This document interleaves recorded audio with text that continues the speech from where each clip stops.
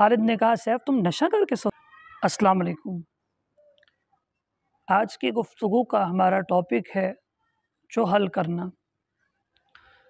चोहल करना का माना है छेड़छाड़ करना दिल लगी करना, ठट्ठा करना, मज़ाक करना। मज़ाक करना तो अच्छा है कि आपकी वजह से किसी के चेहरे पर मुस्कुराहट आ जाए तो बहुत अच्छी बात है। लेकिन मज़ाक उड़ाना बहुत ख़तरनाक है। अगर किसी का कोई कमज़ोर पहलू मिल जाए और फिर उसको इस तरीके से ज़िक्र करना कि उसकी इज़्ज़त नफ्स मजरू हो या उसको बुरा फ़ील हो, ये बहुत बुरी बात है। मज़ाक उड़ाने की ममानियत है। अल्लाह रब्बुल इरशाद फरमाते हैं ए ईमान वालो, तुम दूसरी कौम का मज़ाक ना उड़ाया करो। हो सकता है इनका तुम मज़ाक उड़ा रहे हो, वो तुमसे बेहतर हो।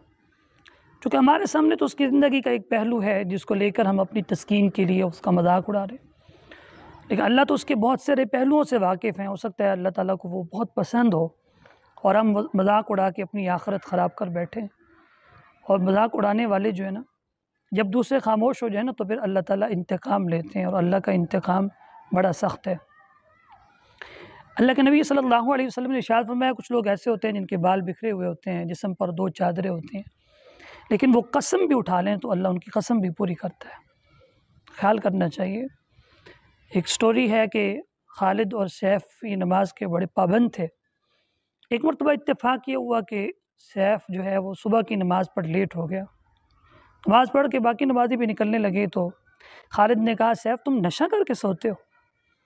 बस इतना ही कहा और सैफ़ ने जवाब नहीं दिया तो इतफाक़न लेट हो गया था। नमाज़ पढ़ी और अगले दिन यह हुआ कि खालिद नमाज़ की एक रकत रह गया। तो नमाज़ के बाद सैफ ने कहा, खालिद, देखो तुमने मुझे एक जुमला कहा था। उसकी वजह से तुम नमाज़ की एक रकत रह गए हो। उम्मीद है आप समझ गए होंगे। मेरी बातें सुनने का शुक्रिया।